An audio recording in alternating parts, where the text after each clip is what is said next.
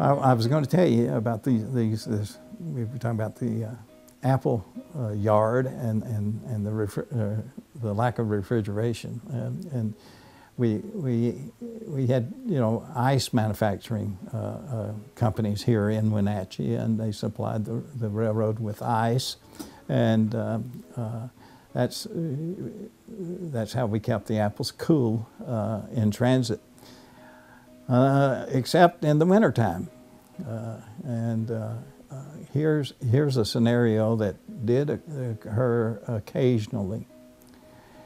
You could load a, uh, a car of apples in Tonasket and bring it down to Wenatchee, add ice to it, uh, ship it uh, east, and about the time it got to Fargo, North Dakota, you pull the ice out and you lit the heaters in the car.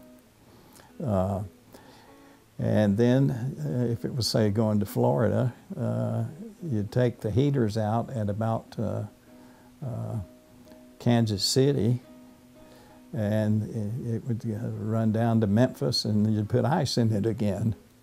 And then there, sometimes there would be another stop where you'd add salt to the ice. You know, that, that makes it even colder. You know, you make you ever make ice cream. You know, the more salt. Know, yeah. So, so uh, you, or you could ship a car out of here without any ice in it if it wasn't real hot, and you just have what we call plugs in of uh, vents closed.